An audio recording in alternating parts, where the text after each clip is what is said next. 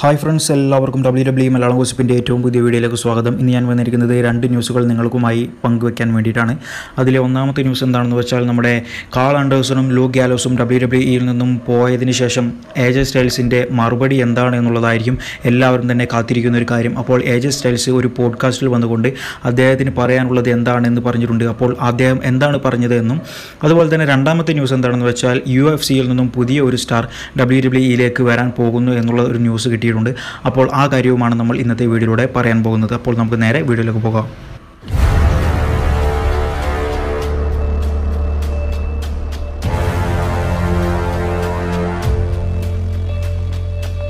ആദ്യം തന്നെ U F സിയിലെ സ്റ്റാറിന്റെ കാര്യം നോക്കാം. യു എഫ് സിയിലെ സ്റ്റാറിന്റെ പേര് കോൾബി കോവിങ്ടൺ എന്ന് പറഞ്ഞിട്ടുള്ള ഒരു റെസ്ലറാണ്. അദ്ദേഹം യു എഫ് സിയിൽ വർക്ക് ചെയ്യാൻ തുടങ്ങിയിട്ട് ഏകദേശം എട്ട് കൊല്ലത്തോളമായി. രണ്ടായിരത്തി പന്ത്രണ്ടിലായിരുന്നു അദ്ദേഹം അദ്ദേഹത്തിന്റെ ആദ്യത്തെ മാച്ച് യു എഫ് സിയിൽ കളിച്ചിട്ടുണ്ടായിരുന്നത്. അദ്ദേഹം ഇതുവരെ പതിനേഴ് മാച്ചുകളാണ് യു എഫ് സിയിൽ കളിച്ചിട്ടുള്ളത്. അതിൽ പതിനഞ്ച് മാച്ചുകളും അദ്ദേഹം വിജയിച്ചിട്ടുണ്ട്. രണ്ട് മാച്ചുകളിൽ മാത്രമേ അദ്ദേഹം തോറ്റിട്ടുള്ളൂ. അദ്ദേഹം ഇപ്പോൾ പറഞ്ഞിട്ടുള്ളത് രണ്ടായിരത്തി ഇരുപത്തി ഒന്ന് ആകുമ്പോഴേക്കും അദ്ദേഹത്തിന് ഡബ്ല്യു ഡബ്ല്യു ഇയിൽ ജോയിൻ ചെയ്യണം എന്നുള്ളതാണ്. അദ്ദേഹം പറയുന്നത് എന്താണെന്ന് വെച്ചാൽ ഈ കൊല്ലത്തിലല്ല അടുത്ത കൊല്ലത്തിൽ ഞാൻ എന്തായാലും ഡബ്ല്യു ഡബ്ല്യു ഇയിൽ ജോയിൻ ചെയ്യും. അതിനു വേണ്ടിയിട്ടുള്ള നീക്കങ്ങളിലാണ് ഞാൻ നടക്കുന്നത്. പക്ഷേ അതിനു മുൻപ് എനിക്ക് എന്റെ പ്രോമോ സ്കില്ലും മൈക്ക് സ്കില്ലും ഒന്നുകൂടി വളർത്തിയെടുക്കണം. കാരണം വെറും റെസ്ലിംഗ് മാത്രമല്ല ഡബ്ല്യു ഡബ്ല്യു ഇയിലുള്ളത് അതിൽ കൂടുതലും എന്റർടൈനിങ് പർപ്പസാണ് അതുകൊണ്ട് തന്നെ ആ ഒരു എന്റെ എന്റർടൈനിങ് പർപ്പസ് ഒന്നുകൂടി വളർത്തിയെടുക്കാൻ വേണ്ടിയിട്ട് എനിക്ക് കുറച്ച് സമയം ആവശ്യമുണ്ട്. അതിന് വേണ്ടിയിട്ടാണ് ഈ ഒരു വർഷം ഞാൻ എടുക്കുന്നത് എന്നാണ് ഈ ഒരു റെസ്ലർ പറഞ്ഞിട്ടുള്ളത്. അപ്പോൾ യു എഫ് സിയിൽ കമ്മിറ്റ്മെന്റ് ഇല്ല എന്ന് നിങ്ങൾക്ക് എല്ലാവർക്കും തോന്നും. പക്ഷേ യു എഫ് സിയിൽ ഞാൻ വന്നത് ഒരുപാട് നാൾ മത്സരിക്കാൻ വേണ്ടിയിട്ടല്ല വളരെ നല്ല സമയം മത്സരിക്കാൻ വേണ്ടിയിട്ടാണ്. അതായത് കുറച്ച് സമയം വളരെ നല്ല രീതിയിൽ മത്സരിക്കാൻ വേണ്ടിയിട്ടാണ് വന്നത്. അതുപോലെ തന്നെ ഞാൻ ഇവിടെ വന്നത് എനിക്ക് ഫ്രണ്ട്സിനെ ഉണ്ടാക്കാൻ വേണ്ടിയിട്ടല്ല ഞാൻ പണം ഉണ്ടാക്കാൻ വേണ്ടിയിട്ടാണ് യു എഫ് സിയിൽ വന്നിട്ടുള്ളത് എന്നും അദ്ദേഹം പറഞ്ഞു.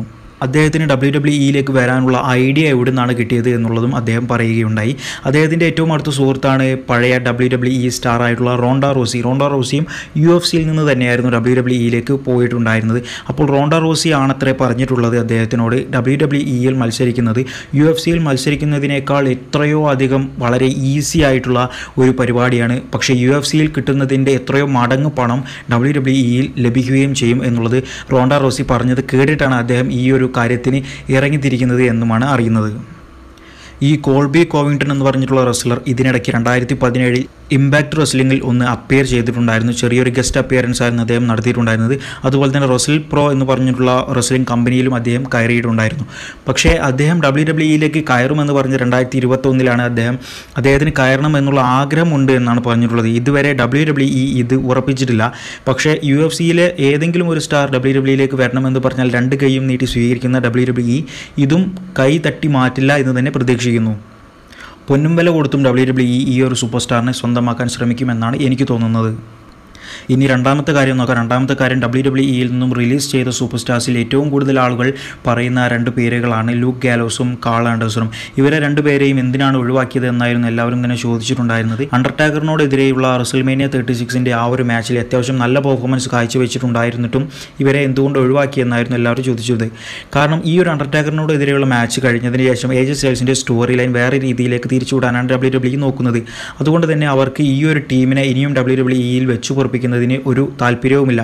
അതുകൊണ്ട് ഈ ഒരു ടീമിനെ ഒഴിവാക്കുന്നതിന്റെ മുന്നോടിയായി ഇവരെ രണ്ടുപേരെയും ഡബ്ല്യു ഡബ്ല്യുയിൽ നിന്നും ഒഴിവാക്കുകയാണ് എന്നാണ് ഡബ്ല്യു ഡബ്ല്യുയിൽ നിന്നും വന്നിട്ടുണ്ടായിരുന്ന കാര്യം. ഏജ് സെയിൽസ് അദ്ദേഹത്തിന്റെ വീട്ടിൽ നിന്ന് തന്നെ ചെയ്തിട്ടുണ്ടായിരുന്ന ഒരു ബ്രോഡ്കാസ്റ്റിലായിരുന്നു ഈ കാര്യങ്ങളെല്ലാം തന്നെ പറഞ്ഞിട്ടുണ്ടായിരുന്നത്. അദ്ദേഹം അദ്ദേഹത്തിന്റെ ട്വിറ്ററിലായിരുന്നു ഈ ഒരു ബ്രോഡ്കാസ്റ്റ് അപ്ലോഡ് ചെയ്തിട്ടുണ്ടായിരുന്നത്. അപ്പോൾ അതിൽ പറഞ്ഞ കാര്യം എന്താണെന്ന് വെച്ചാൽ ഗാലോസും ആൻഡേഴ്സണും എന്റെ ബ്രദേഴ്സിനെ പോലെയാണ് അവർ കഴിഞ്ഞ ദിവസം റിലീസായി പോയി എന്നറിഞ്ഞപ്പോൾ എന്റെ നെഞ്ചാണ് ശരിക്കും ഇടിച്ചത്. ഞാൻ വരെ പ്രതീക്ഷിക്കാത്തൊരു കാര്യമാണ് ഇപ്പോൾ നടന്നിട്ടുള്ളത്.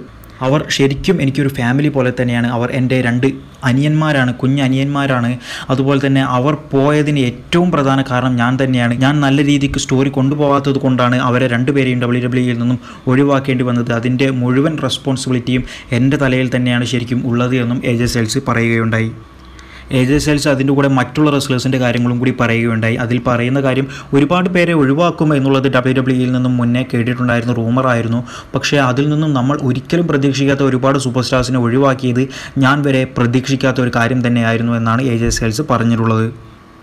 എന്തായാലും ഏജ് സെൽസിന്റെ റിട്ടേൺ ഇനി അടുത്ത് തന്നെ ഉണ്ടാകുമെന്ന് നമുക്ക് പ്രതീക്ഷിക്കേണ്ട കാര്യമില്ല. കാരണം ഈ ഒരു പ്രശ്നങ്ങളെല്ലാം തന്നെ കഴിഞ്ഞതിന് ശേഷം മാത്രമേ ഇനി ഇവരെല്ലാം തന്നെ ഡബ്ല്യു ഡബ്ല്യുയിലേക്ക് റിട്ടേൺ ചെയ്യുകയുള്ളൂ എന്നുമാണ് കേൾക്കുന്നത്.